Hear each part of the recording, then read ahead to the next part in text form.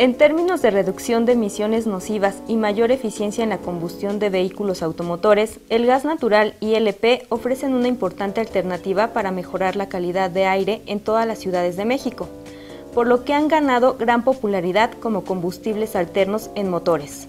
Ofrecen mayor seguridad, son más económicos, proporcionan una combustión completa y ahorro en mantenimiento, así como una inversión recuperable en un tiempo relativamente corto. Para instalar gas vehicular se requiere que el auto a convertir cuente con un sistema de inyección electrónica secuencial, los cuales generalmente son vehículos de 1993 en adelante.